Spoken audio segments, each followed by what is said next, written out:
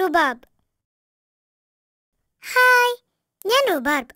ഒരു ഇലക്കറിയാകുന്നു. എനിക്ക് ചെറിയ പൂക്കളുണ്ട്. ഇവ ഒന്നിച്ച് ഓരോ പൂക്കുലയായി കാണാം. പച്ചയും വെള്ളയും റോസും ചുകപ്പും നിറങ്ങളിലാണവ. ആളുകൾ എന്നെ വീടുകളിൽ ആഹാരത്തിനായി വളർത്തുന്നു.